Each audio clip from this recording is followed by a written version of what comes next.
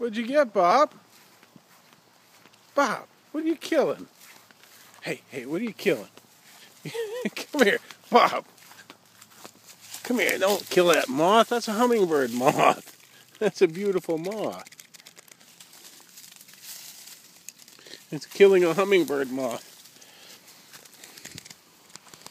Here, hold it. Ah, shoot, all the dust is gone now. Oh. It's still flying. Where'd it go? It's in the sky. Bob, we don't kill hummingbird moths. They're extra special.